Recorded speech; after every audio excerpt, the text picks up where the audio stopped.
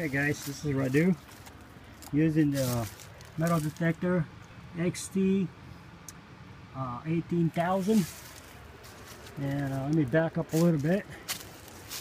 Uh, my nephew discovered this mine over here. Or I should say maybe my nephew's. Doesn't look like much I mean when you just come in there.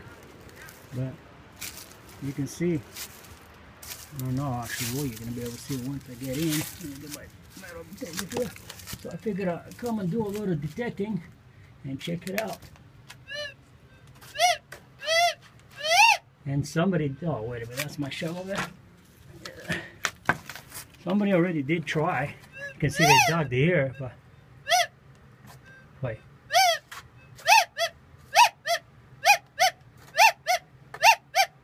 So you tell me.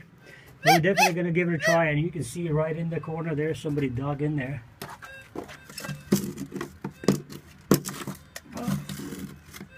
Don't see nothing. It's already barred up. So there's, I don't see how you can get that. But that looks deep. Definitely looks really deep.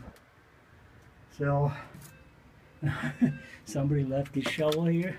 It's got a small little kick. It's actually not too cool, not too bad, but it's cheapy, so we'll leave it here for the next guy that wants to dig.